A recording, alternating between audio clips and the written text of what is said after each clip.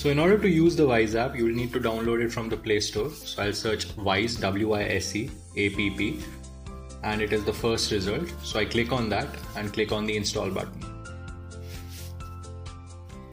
Now the app is installed, I'll open it. First thing it will ask for is my phone number. So let me just enter my phone number.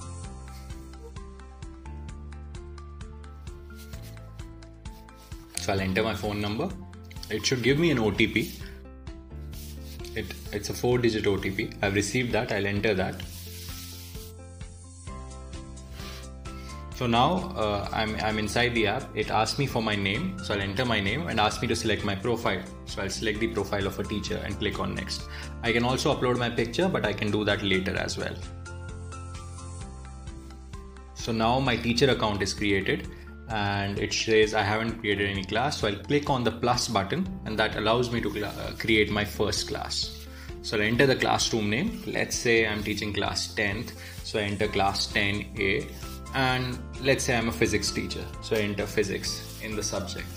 Next I'll do is I'll add timings. Uh, timings uh, refers to the uh, days and the time that I'm teaching. Let's say Tuesday 9 to 10. So I've selected 9 to 10 and let's say Friday it's 1 to 2 it has to be PM so I can change it to PM uh, so I can I can do this. I can select other days as well if I want to. And next thing that I will do is I'll save timings. I'll click on create. So my first classroom has been created. Uh, so I'll click on this card. I enter the class. So this shows a class with no students yet because I just created it. It tells me the timings of this. So I can click on invite students uh, to invite my students to this class. So once I click on invite students, it, it creates a message which I can send through WhatsApp or, or any other medium. So I'll send through WhatsApp. I can send it to my student WhatsApp group or let me send it to Rahul, who I know is the student of this class. So I send the message to Rahul. Rahul gets the link to download the app and the classroom details. So until Rahul uh, is able to get that link and send me a request, let's explore other features of this application.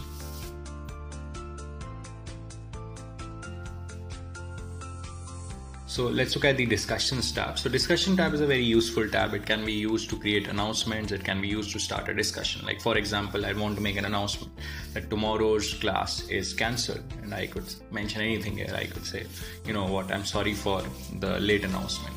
So, so you understand, right? This could be used to start a discussion among students. This could be used to make an announcement. Students can also start discussion if they have doubts, and you as a teacher could comment on that and clarify their doubts, or other students uh, could clarify each other's doubts. Uh, so discussion becomes a very useful tool uh, for doubt resolutions, for announcements, or conducting or facilitating any kind of discussion among the participants or the students.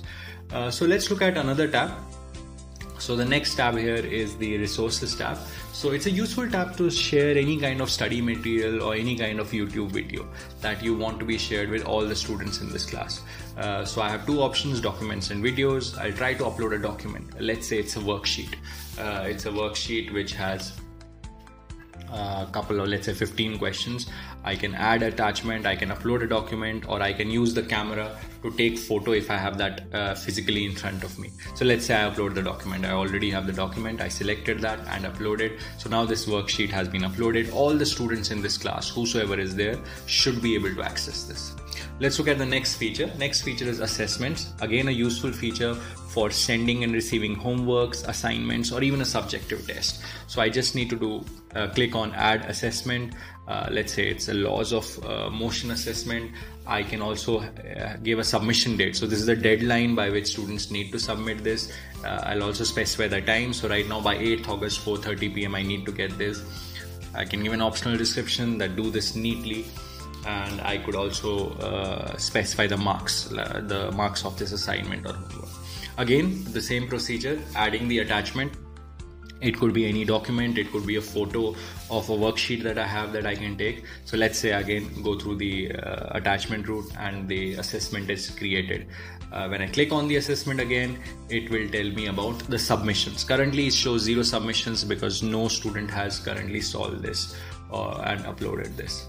Uh, so let's uh, look at uh, the other uh, tabs. So now rahul has finally got the request uh, got my message and he has sent me a request. I can see one join request.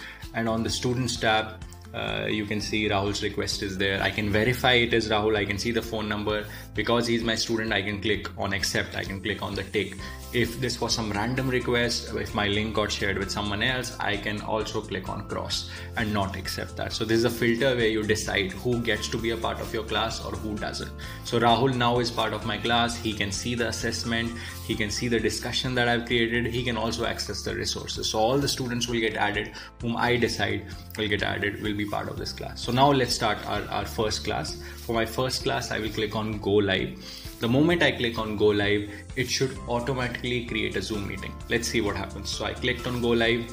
It says launching class. I'm not touching anything. I'm not pressing any button. Automatically Zoom has started. Automatically the meeting has started. I didn't have to do anything. I didn't have to create a meeting. I didn't have to share meeting ID password. Rahul would have received a notification and see he has and he has clicked on join meeting uh, he has clicked on join class and he's inside this class. So i've enabled waiting room so i can uh, admit him. I can also disable the waiting room. So once i admit him Rahul will be a part of the class. So Rahul now is a part of the class. Uh, the Zoom meeting has started without there having to be any need of sharing meeting ID passwords. So this has made the, uh, the life of teachers very convenient. There's no need to create meeting ID passwords. There's no need to share them. There's no risk of that getting leaked and random people entering. So let me just end this meeting. Uh, so the class is ended, and once the class is ended, there's there's one last feature uh, that that that is available to teachers through this app. Uh, this class that was created was attended by Rahul Jain.